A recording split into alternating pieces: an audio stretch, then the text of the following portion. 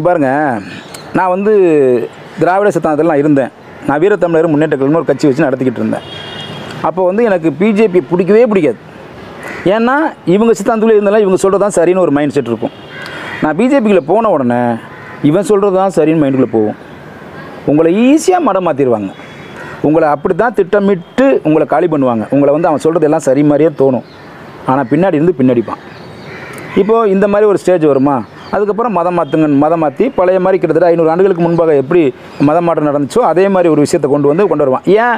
இதை என்ன பண்ண முடியும்? எதிர்ப்பு கிட்டத்தட்ட ஒரு இரு முப்பது பர்சன்ட் எதிர்ப்பு இருக்குன்னு வச்சுக்கோங்க. என்ன பண்ணுவீங்க அந்த எதிர்ப்பு வச்சு? அவன் எப்படி தெரியுமா அஜெண்டா உருவாகிறான் காங்கிரஸ் ஆளும்போதே பிஜேபி ஆர்எஸ்எஸ் ஒரு அஜெண்டா போட்டுருச்சு. நீங்கள் எழுதி வச்சுக்கோங்க நான் சொல்கிறதெல்லாம் அன் திருமாவுக்கு புரியும்.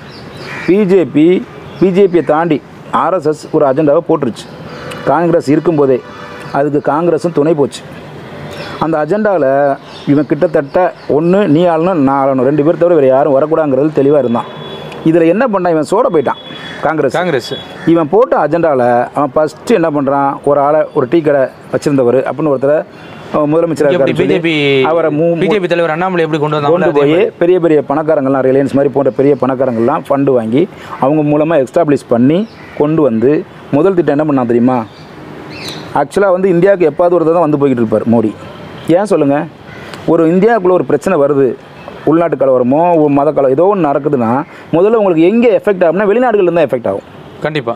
அப்போ இவங்க என்ன பண்ணுறாங்கன்னா முதல்ல வெளிநாடுகளில் உள்ளதை பூரா சரி கட்டுறாங்க. இஸ்லாம் கண்ட்ரியை சரி கட்டுறாங்க. இங்கே இஸ்லாமியருக்கு ஒரு பிரச்சனை வருது அப்படின்னா முதல்ல அவங்க தான் துடிப்பாங்க. இஸ்லாம் கண்ட்ரியை சரி கட்டுவாங்க. கிறிஸ்தவ கண்ட்ரியை சரி கட்டுவாங்க. அது அந்த வேலையை ரொம்ப தெளிவாக கடந்த ஐந்து ஒம்பது வருடத்தில் ஐந்து வருடங்கள் தொடர்ந்து செஞ்சுட்டாங்க. அங்கே வந்து ஸ்ட்ராங் பண்ணிட்டாங்க. இப்போ இங்கே என்ன நடந்தாலும் வெ வெளியில் உள்ள நாடுகள் கண்டிக்காது. அவங்க என்ன சொல்லிடுவாங்கன்னா இது எங்கள் உள்நாட்டு பிரச்சனை. உள்நாட்டு பிரச்சனை நாங்கள் தலையிட முடியாது. அப்போ ஒரு நாடை சொல்லுவாங்க. இப்போ எக்ஸாம்பிளுக்கு பாகிஸ்தான். பாகிஸ்தானில் முழுக்க முழுக்க இருக்கிறவங்க பூரா இஸ்லாமியர். வேறு இந்துக்களுக்கு இப்போ இந்துக்கள் வந்து இத்தனை பெர்சன்ட் இருந்தால் இப்போ ரெண்டு பர்சன்ட் ஆகிட்டான்னு சொல்லி சொல்கிறாங்க அதுவும் இல்லாமல் அப்போ இந்த மாதிரி என்னுடைய நாட்டில் என் என் மதத்துக்கு தான் அடிப்படையாக எல்லாமே கொடுக்க முடியும். அப்படிங்கிற ஃபண்டமெண்டல் ரைட்ஸ் எல்லாமே அந்த மதத்தை சார்ந்து தான் இருக்குங்கிறது எல்லாமே வந்து சொல்லி அவங்கள பூரா கிளியர் பண்ணிட்டாங்க.